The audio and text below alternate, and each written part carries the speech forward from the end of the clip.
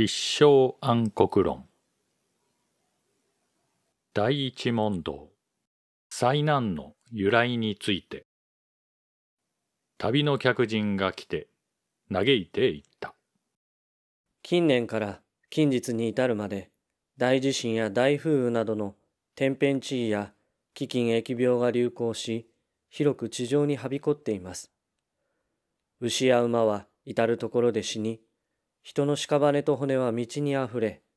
命を失った者はすでに大半に及んで、この惨状を悲しまない者は一人もいません。そのために人々は様々な方法でこの惨状から逃れようとしています。ある者は、苦悩と在業を断ち切る利権は、弥陀の名号を唱えることという禅道の半寿さんの言葉を信じて、ひたすら西方浄土の阿弥陀仏の名を唱え、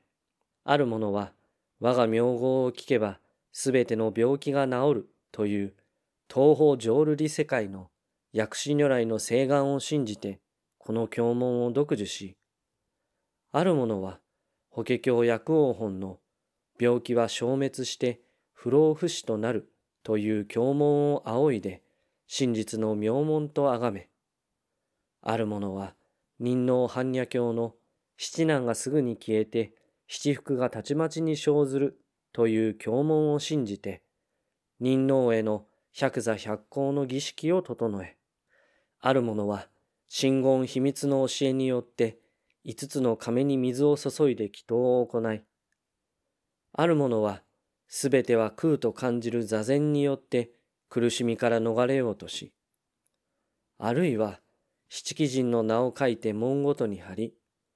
あるいは五大力菩薩の像を書いて家ごとにかけ、あるいは天地の神々を拝んで四角四開祭という助役の祈祷を行い、また国主は万民を憐れんで特性を施しています。けれども、ただ心を砕くだけで何の効果もなく、飢饉や疫病はいよいよ盛んになり、物乞いの者が満ち溢れ、死骸は物見台のように重なり、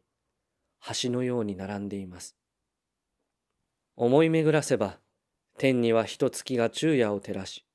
木星、火星、土星、金星、水星の五星も玉を連ねたように正しく運行しています。地には仏法僧の参謀が敬われ、国王の命運が尽きるという百王もまだ先のことなのに。この世が早くも衰えてしまい、仏法も横暴も廃れてしまったのはどうしてでしょうか。これはいかなる罪、いかなる過ちによるのでしょうか。主人が答えて言った。私もこのことを心配して、その災難の原因について深く胸中に思い悩んでいましたが、一人心を痛めるだけで、誰にも話す機会がありませんでした。幸い、あなたが客として来られ、同じように嘆かれるのを聞くことができました。しばらくこの問題について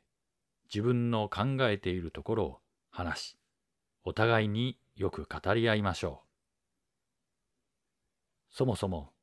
世俗の愛欲や恩情を立って出家し、仏道に入るのは、仏の教えによって悟りを開いて、仏になりたいからです。しかし、今現実の世の中を見ると、神への祈りもかなわず、仏の威力も現れず、災難はいよいよ増すばかりです。修行に何の効果もないのを見るにつけ、未来の成仏という大事は、とてもおぼつかないのではと疑うのも無理もないことです。そうして、私はただ天を仰いでは出家の目的が失われたことを恨み、地に伏しては深い憂いと絶望に沈んでいました。私は甚だ視野の狭い見方しかできませんが、